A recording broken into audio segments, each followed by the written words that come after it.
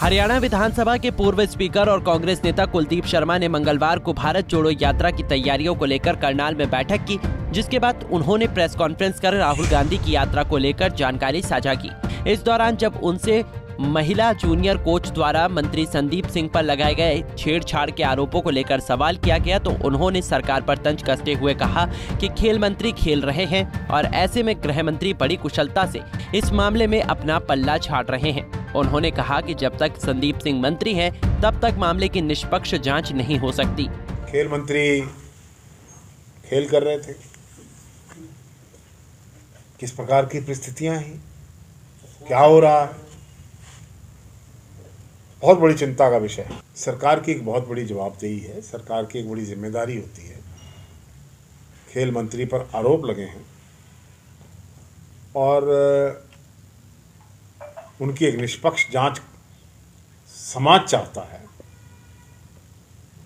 धनखड़ खाप ने मांग की है और क्यों जाँच ना हो और निष्पक्ष जाँच के लिए क्या क्या कदम उठाए जाएँ,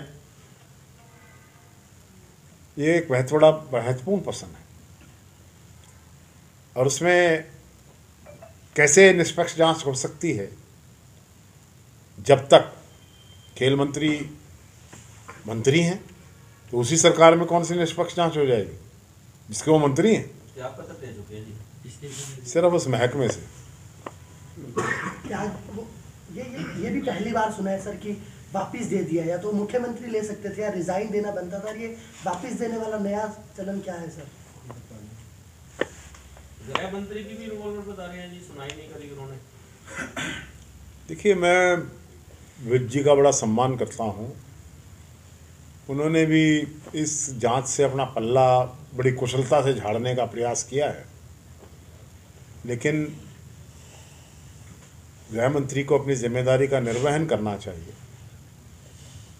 और एक निष्पक्ष जाँच किस प्रकार से हो, ताकि खेल मंत्री का जिस प्रकार से व्यवहार रहा है, एक महिला के प्रति, एक कोच के प्रति, एक एम्प्लॉय के प्रति एक क्वेश्चनेबल बिहेवियर जो है, उस पर किस प्रकार से ये सुनिश्चित करना चाहिए उन लोगों के, को, जिनके हाथ में कानून व्यवस्था बता दें, राहुल गांधी की भारत जोड़ो यात्रा का हरियाणा में दूसरा चरण 5 जनवरी से शुरू होगा।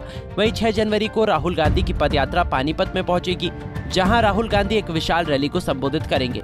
उन्होंने बताया कि भारत जोड़ो यात्रा का चरण 7 जनवरी को सुबह करीब साढ़े पाँच बजे कोहंड से शुरू होगा। शाम को ही उनकी पदयात्रा करनाल शहर के अंदर से होती हुई एनडीआरआई चौक पहुंचेगी। करनाल से ब्यूरो रिपोर्ट, पंजाब की टीवी।